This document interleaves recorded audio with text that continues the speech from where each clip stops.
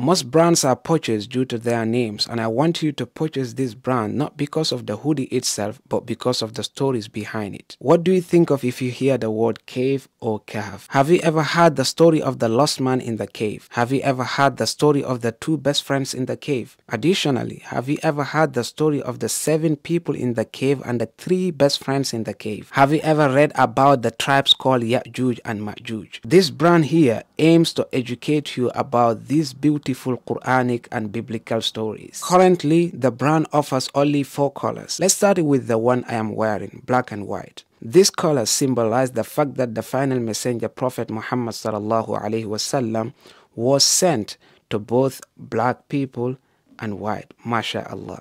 Green represents the garden of Jannah. Red, this color is dedicated to sisters who were unjustly buried alive before the advent of Islam. Plain white represents peace and of course plain black represents the origin of humanity, Adam alayhi salam. The brand will officially be launched in December 2024 bi'idhnillah tabaraka wa ta'ala, so stay tuned. MashaAllah brothers and sisters as you can see, that's the brand name Cave in both English and Arabic. Then you have Kahf in Arabic.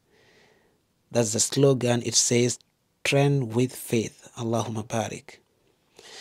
I've got something amazing for you. Come here. See the pockets? They are designed like letter C. That's because the brand name is Cave. MashaAllah. So the hoodie is black and around the shoulder halfway. So as we said, that's there to remind you that Prophet Muhammad, the final messenger, was sent to both black and white people. Allahumma barik.